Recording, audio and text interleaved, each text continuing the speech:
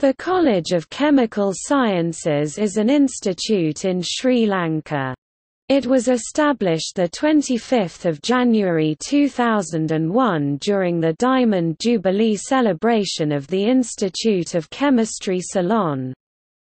As per by Law 15 of the Institute of Chemistry Ceylon, the College of Chemical Sciences was established to conduct all the educational and training activities of the institute.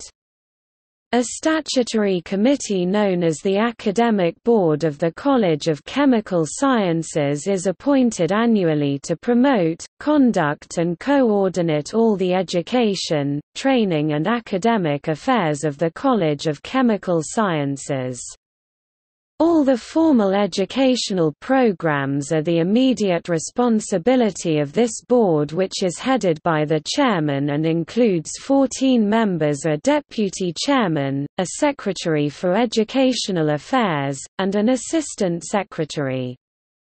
Additionally, the president of the institute, one of the honorary joint secretaries of the institute, the chairman of the Admissions and Ethical Practices Committee of the institute, and the institute's honorary treasurer are ex officio members of the academic board.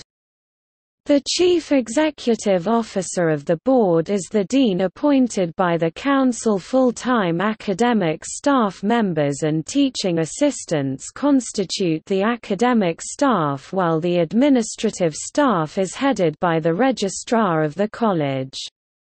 An assistant librarian is in charge of the library. A number of other full-time non-academic staff comprise the balance staff. A number of visiting academics and teaching assistants drawn from universities, research institutes, and service organizations and well as the private sector carry out the day-to-day -day teaching activities of the college.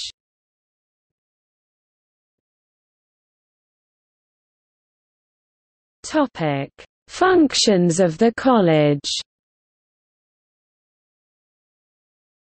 to conduct postsecondary, graduateship, diploma and certificate courses in the chemical sciences, to promote education in and application of chemistry at levels, to initiate research activities in collaboration with universities, industry and foreign institutions, to establish library facilities including database access and technology information, to conduct refresher, in-service, training courses for scientists and teachers, to assist industry in product development, problem solving, quality improvement, and product diversification to encourage staff exchange between the college and the universities, research institutes in Sri Lanka and overseas